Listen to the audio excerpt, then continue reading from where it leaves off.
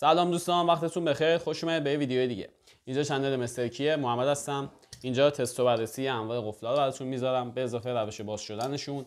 روشی که بتونید امنیتشون رو بیشتر کنید و حالا راهکارهای دیگه و حالا حرکت های کاربردی دیگه که بتونید قفلا رو عوض کنید قفلا دیگه روشون سوار کنید یا اینکه تعمیراتشون رو خودتون انجام بدید. تعمیرات دم دستی شده البته. امروز همون قفل دیروزی آوردم. می‌خوام همون کلیدی که روش نصب کردم چهار پر رو حالا به دو تا روش مختلف با تنظیم دونه دونه ساچمه و تنظیم حالا با خود آچار چهار پر. می‌خوایم بریم تستش کنیم ببینیم چه جوریه باز شدنش به راحتی باز میشه یا نه یا حالا ابزار مخصوصی می‌خواد. در کل باید بریم تستش کنیم ببینیم چه جوریه دیگه. کیلو فابریکیش هم هست. حالا توی ادامه ویدیو بهتون نشون میدم. البته اگه پیداش کنم. و خیلی مخلصم. بزن بریم ببینیم قفلش چجوری باز میشه. subscribe کن. بزن بریم سر باز کردنش.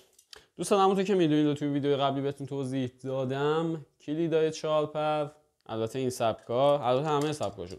فقط به یه سمت داخل میرن. چرا؟ به خاطر اینکه هر طرفشون یه دونه ساچمریزی متفاوت داره. که حالا البته این مدلش به سه طرف ساچ مریزی شده. یه طرفش واسه اینه که دقیقا کلید تا اونجا بره تو تا اینجا استوب کنه. چرا؟ اول از همه اینم کلید فابریکی قفلمون بود که دیروز تغییر کاربری خورد و از کلیدای به این ساده ای و بی مصرفی به کلید چهارپر تبدیلش کردیم و دیگه به اینا احتیاج نداریم. خب مغزی چهارپر متشکل شده از 6 تا ساچمه 9 تا ساچمه فکر کنم. یک دو شش تا ساچمه است. شش تا ساچمه خب که حالا اگر این بتونه درست برای من فوکوس بکنه می‌کنه. این تیکه استیل رو می‌بینید این بالا. بذارید من با کلید نشون بدم. این تیکه استیل رو که می‌بینید دقیقا وظیفش اینه که این کلید رو تا اینجا که میره داخل نگهش داره. همونطور که نگاه کنید این تیغه استیل رو می‌بینی؟ تا اینجا کلید بیشتر داخل نمیره. چون تنظیمش جوریه که تا اونجا که بره داخل بتونه بازش کنه. یعنی اون بیشتر بره داخل یا کمتر بره داخل باز نمیشه. خب حالا برای باز کردن این ما به چی نیاز داریم؟ آلچار چهار پر باز کن. هر مدلش. خب وایسا. آلچارمون رو میاریم. اول راه سخت رو امتحان می‌کنیم.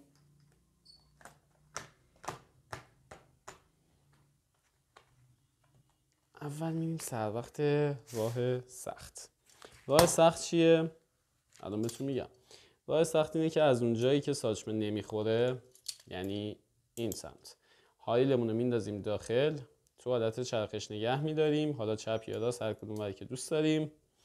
و بعد شروع می‌کنیم به تنظیم کردن ساچمه ها من از دیروز هنوز این یه پیچو نبستم.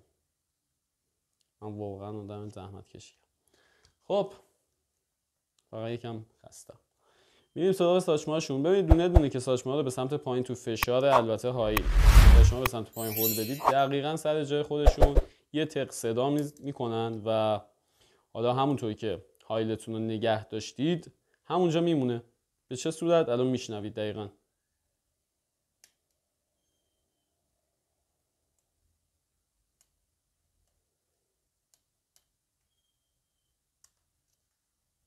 این دوتاش البته امیدوارم درست تنظیم شده باشه. دوباره نخواهیم تنظیمش کنیم.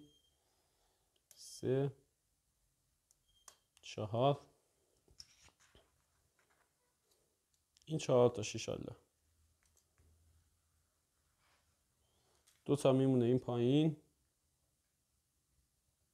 یک و دو. حالا دوباره میریم دونه دونه تنظیمشون کنیم. ببینیم کدومشون حالا یه صدایی داده ولی تو حالت تنظیم قرار نگرفته. هم هایل نباید دستتون در بره دیگه چون ساچما دوباره برمیگرده فنریتشون حالا اجازه میده که برگردن سر جاشون. اما دوباره روی تمام ساچما حرکت می‌کنیم و تنظیمشون می‌کنیم سعی می‌کنیم ببینیم کدومشون تنظیم نشده توی بدنه قفل.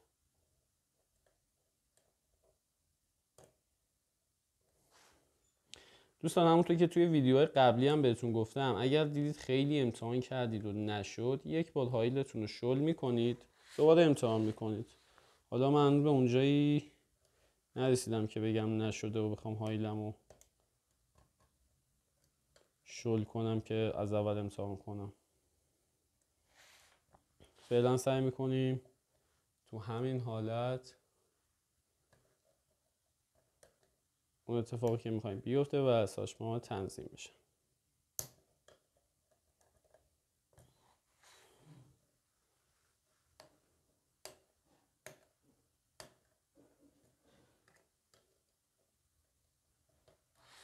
بذارید یک بار بریم از اول امتحانش کنیم.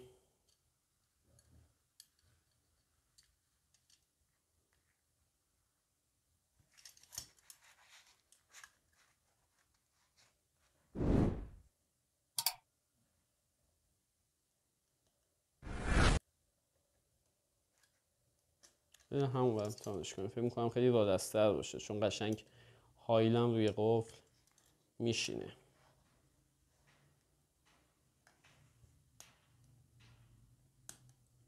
دوتا.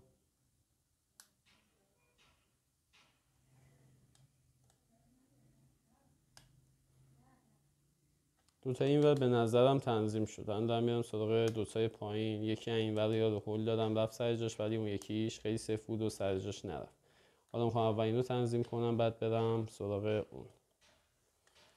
فکر می‌کنم که تنظیمه.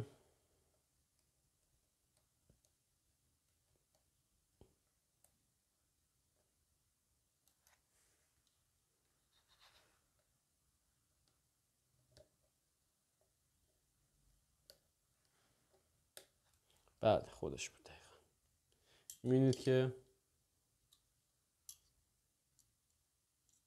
توپیمون رد کرده و تو حالت چرخشه.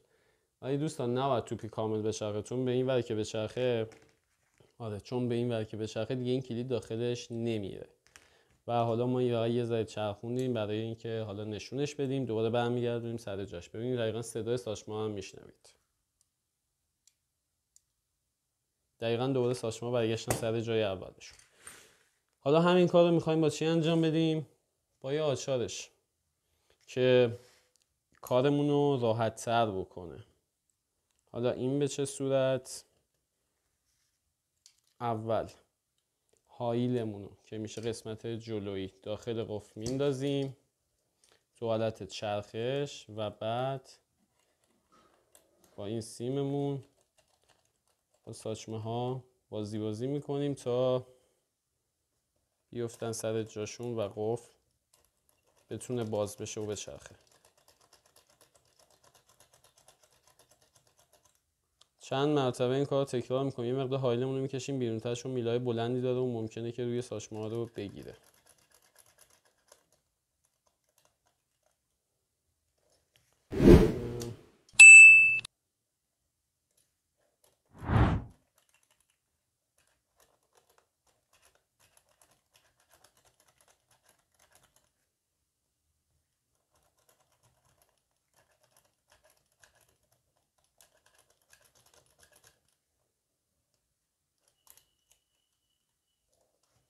بذارید از این امتحان بکنم ساشما دورتره و رادستره برای اینکه بتونم بهتون راحت تر نشون بدم.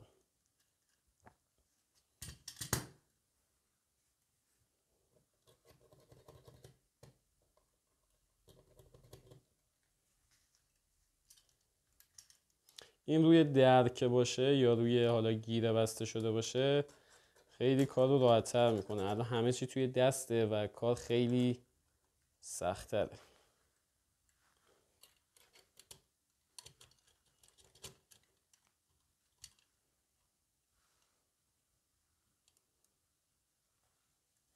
حس می‌کنم خیلی هم زاویه دید شما روی این کار بد باشه.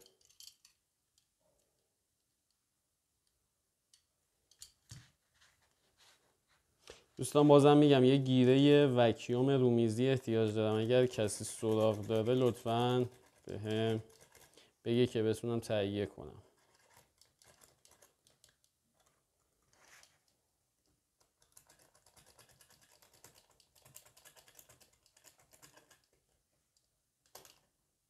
خب چرخید. ولی دقیقا رفت جایی که نباید می‌رفت. و کلید الان خیلی سخت داخلش میره دوباره باید یه دور بچرخونم و برش گردونم.